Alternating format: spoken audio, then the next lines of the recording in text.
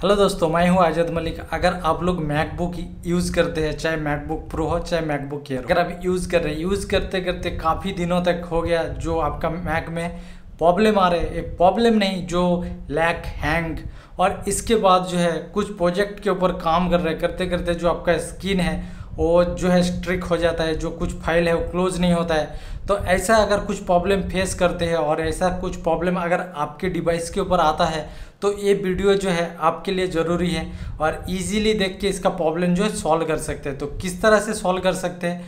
इसमें अब मैं आपको दो स्टेप बताऊँगा आपको, जो बहुत ही इजीली है। आप घर बैठ के कर सकते हैं। जब हमें ऐसा प्रॉब्लम आता है तो हम लोग क्या करते हैं, जो कुछ मैक का जो कुछ सॉफ्टवेयर अपडेट कर दिया, बाद में अपडेट आया तो अपडेट कर लिया। इसकी वजह से शायद हो सकता है। लेकिन जो मैं प्रोसेस आप लोगों को बताऊँगा तो सॉफ्टवेयर का इशू भी नहीं होगा और जो प्रॉब्लम है वो भी नहीं रहेगा, क्योंकि प्रॉब्लम जो है प्रॉपरली सॉल्व हो जाएगा और बहुत यूज़ कर सकते हैं। इसका रैम भी क्लियर हो जाएगा और इसका प्रॉपरली सेटिंग भी ईजिली मतलब कर सकते हैं। और आपको इरेज करने की और फुल फॉर्मेट करने की ज़रूरत नहीं पड़ेगा। आप घर बैठ के कर सकते हैं। चाहे आपके पास इंटेल वाला हो, चाहे आपके पास एम वाला हो, दोनों का प्रोसेस जो है मैं आपको बताऊँगा, जो दोनों का प्रोसेस किस तरह से और किस तरह से कर सकते हैं, वो मैं बताऊँगा स्क्रीन के ऊपर। ये है मेरे पास मैकबुक एयर जो एम वाला। तो इसके ऊपर मैं करने वाला हूँ। तो इंटेल का भी बताऊँगा मैं इंटेल को कैसे कर सकते हैं। और एम वन चिप को भी कैसे कर सकते हो? तो स्क्रीन के ऊपर लेके जाके प्रॉपरली आपको मैं बताऊँगा स्टेप बाय स्टेप आप घर बैठ के इजीली कर सकते हैं। आपको नहीं तो सर्विस सेंटर जाने की ज़रूरत है, ना किसी दोस्त के पास हेल्प की ज़रूरत है। इस वीडियो को देख के आप इजीली कर सकते हैं।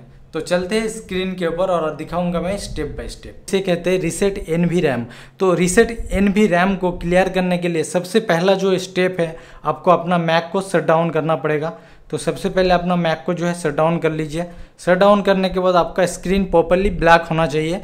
तो कुछ देर तक आप लोग रुक जाइए, क्योंकि आपका स्क्रीन जो है ब्लैक होना चाहिए। तो जब ये ब्लैक हो जाएगा ब्लैक होने के बाद अब उसके बाद जो है ऑप्शन है, आप देख सकते ऑप्शन कमांड और आर और ये पी ये जो फोर की है, इस फोर की को एक साथ 20 सेकेंड के लिए होल्ड करके रखना। होल्ड करने के बाद ये मैक ऑन हो जाएगा, लेकिन आपको छोड़ना नहीं है।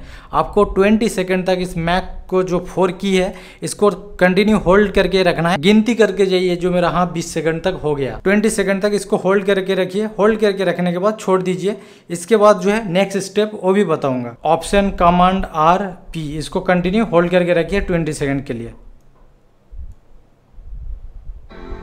One, two, three, four, five, six, seven, eight, nine, ten eleven twelve, thirteen, fourteen, fifteen, sixteen, seventeen, eighteen, nineteen, twenty. तो ट्वेंटी हो गया, अब देख सकते हैं। इसके बाद इसको छोड़ दीजिए।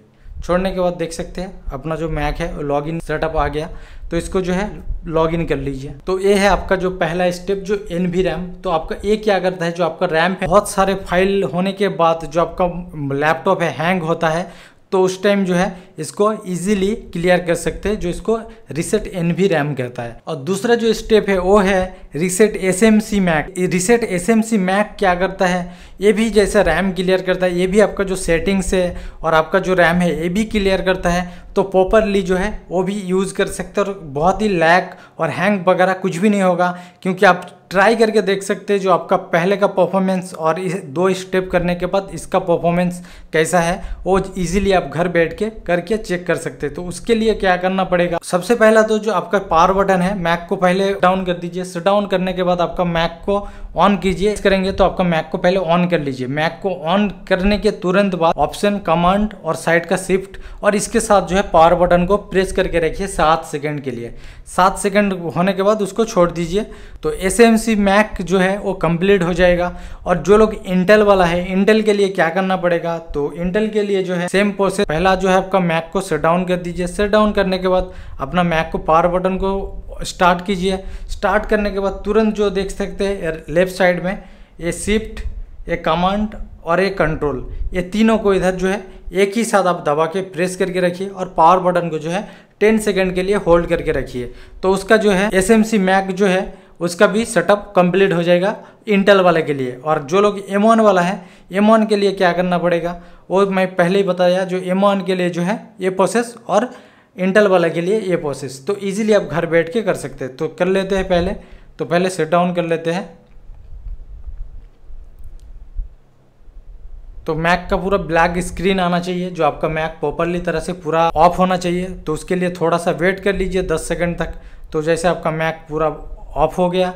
उसके बाद जो है आपका पावर बटन को ऑन करने की तुरंत बाद कंट्रोल ऑप्शन और ये साइड का जो शिफ्ट है राइट साइड का, इसको प्रेस करके रखिए। इसके साथ तुरंत एक ही साथ जो है पावर बटन को भी प्रेस करके रखिए सात सेकेंड के लिए। तो आपका जो है एस एम सी मैक जो है वो भी क्लियर हो जाएगा। तो हमें तो सबसे पहले जो है अपना मैक को स्टार्ट कीजिए। तो स्टार्ट करने के बाद कंट्रोल ऑप्शन और शिफ्ट को तुरंत प्रेस करने के बाद पावर बटन को भी प्रेस कीजिए सात सेकेंड के लिए। तो देख सकते हैं होल्ड करके रखा है। एक, दो, तीन, चार, पाँच, छ, सात तो सात सेकंड हो गया, जो मेरा S M C Mac complete तो इसके बाद जो है इसको चालू करना पड़ेगा आपको। तो पावर बटन को आप प्रेस करके छोड़ दीजिए। तो ए स्टेप को ज़रूर फॉलो कीजिए। S M C Mac complete हो जाएगा, उसके बाद मैक को ऑन कीजिए। उसके बाद जो है लॉगिन करके यूज़ कर सकते हैं, बहुत ही आसान तरीका है इजीली आप घर बैठ के कर सकते रिसेट एस एम सी और एन वी रैम जो है क्लियर कर सकते हैं, जो है काफ़ी दिनों जैसे हमें यूज़ करते हैं या यूज़ करते करते जो है कभी कवर जो है लैक होता है या हैंग हो जाता है, किसी वजह से जो है हो जाता है। तो उस टाइम क्या करते हैं हमें जो है मैक को इरेज करते तो आप लोग इरेज मत कीजिए। इरेज से पहले दो स्टेप ज़रूर कर लीजिए। करने के बाद क्या है? आपका जो रैम है, पहले बात तो क्लियर हो जाता है। आपका रैम क्लियर होने के बाद आपका जो मैक है, उसका परफॉर्मेंस जो है, पहले के मुकाबले में बढ़ जाता है और बहुत ही प्रॉपरली चलता है। तो ज़रूर इस स्टेप को घर बैठ के आप फॉलो कर सकते हैं। इस वीडियो को देख के स्क्रिप मत कीजिए। पूरा वीडियो को प्रॉपरली देख के देख के कर सकते हैं। कुछ भी प्रॉब्लम नहीं होगा। इजीली आप घर बैठ के कर सकते हैं इसे। तो प्लीज़ यार, जो भी लोग चैनल के ऊपर आते हैं वीडियो को देखते हैं प्लीज़ यार। चैनल को सब्सक्राइब कर लो और लाइक कर दो यार। अगर वीडियो को अच्छा लगे तो प्लीज़ लाइक कीजिए और सब्सक्राइब कीजिए और शेयर ज़रूर कीजिए। नेक्स्ट वीडियो में फिर मिलेंगे। Good bye